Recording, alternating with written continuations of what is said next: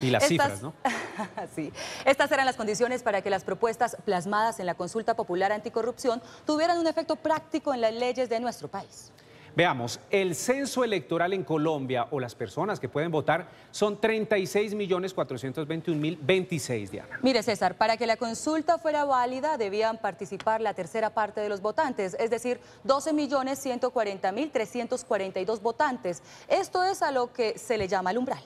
Y si ese umbral se cumplía, el mm. Congreso de la República tenía la obligación, Diana, de tramitar las normas contenidas en la consulta conforme a la votación de cada pregunta. Si no pasa el umbral, la consulta popular queda sin ningún efecto.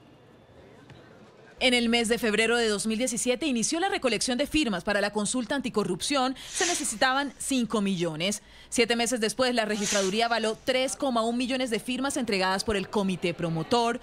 De ahí pasó a manos del Congreso. En el mes de junio de este año fue aprobada como consulta con 84 votos a favor. Este domingo 26 de agosto fue sometida a votación popular en todo el país. Requería 12.140.342 votos para ser aprobada, es decir, que cumpliera el umbral cifra que se obtiene de la tercera parte de los votantes. En Colombia hay 36.421.026 personas habilitadas para sufragar. Al no pasar el umbral, la consulta anticorrupción quedó sin ningún efecto. Vamos a